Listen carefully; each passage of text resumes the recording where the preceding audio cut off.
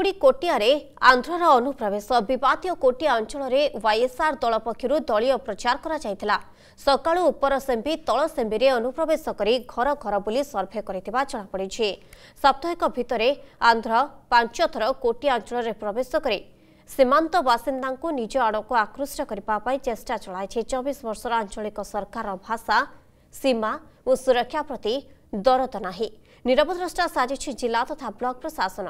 ପ୍ରଥମ ପର୍ଯ୍ୟାୟରେ ନେରେଡିୱାଲସାରେ ଆନ୍ଧ୍ର ସରକାର ପକ୍ଷରୁ ସ୍ୱାସ୍ଥ୍ୟ ଶିବିର ଆୟୋଜନ କରାଯାଇଥିଲା। ଦ୍ୱିତୀୟ ପର୍ଯ୍ୟାୟରେ ଶିଶୁଙ୍କୁ ପୋଲିଓ ବୁନ୍ଦା ଦିଆଯାଇଥିଲା। ତୃତୀୟ ପର୍ଯ୍ୟାୟରେ ଆନ୍ଧ୍ର ପକ୍ଷରୁ କୋଟିଆ ସୀମାନ୍ତବର୍ତ୍ତୀ ଅଞ୍ଚଳରେ ପୋଲିସ କ୍ୟାମ୍ପ କରାଯାଇଥିଲା। ପରେ ଉପର ଓ ତଳ ସେମ୍ବିରେ ଅନୁପ୍ରବେଶ କରି ଡୋର୍ ଟୁ ଡୋର୍ ସର୍ଭେ ପରେ ଏବେ ୱାଇଏସ୍ଆର୍ ଦଳ ପକ୍ଷରୁ ଦଳୀୟ ପ୍ରଚାର ଆରମ୍ଭ କରାଯାଇଛି।